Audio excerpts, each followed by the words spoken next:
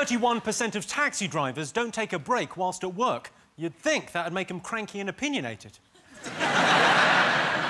and a teaspoon contains 120 drops of water. That's according to research by Professor, probably, from the University of... Yeah, I reckon.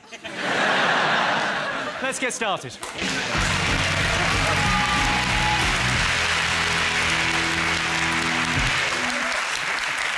What are you talking about? That's the name of our first round. We've teamed up with a leading polling organisation and they've asked the British nation what stories they've been discussing this week. It's our panellists' job to guess the British public's top five most popular talking points. Jason's team, you're to guess first.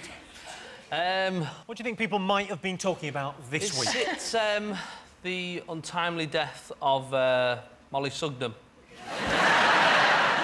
Who saw that coming? Who else Jimmy, is that? Jimmy, Yeah. Jimmy, Jimmy. Is it, um... Jimmy, Jimmy.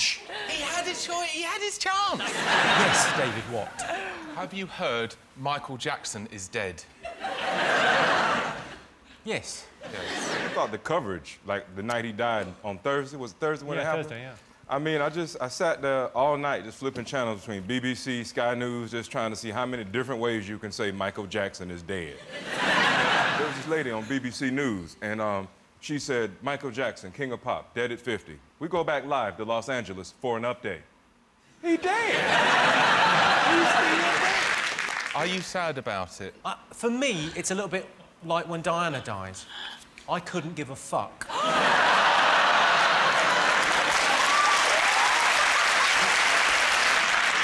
Is it, the audience, how do you feel? Are you good at... you feel sad?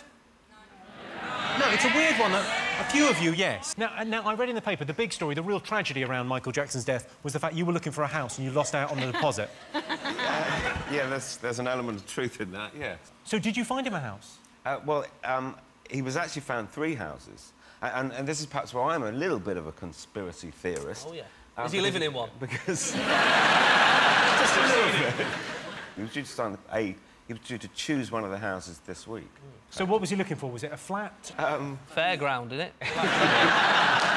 Has it got an ensuite? Has it got a waltzer? Well, what was he looking for? he needed a... what was essentially a stately home, but it needed to have all the mod cons of a gym and a cinema and a panic room and that sort of thing.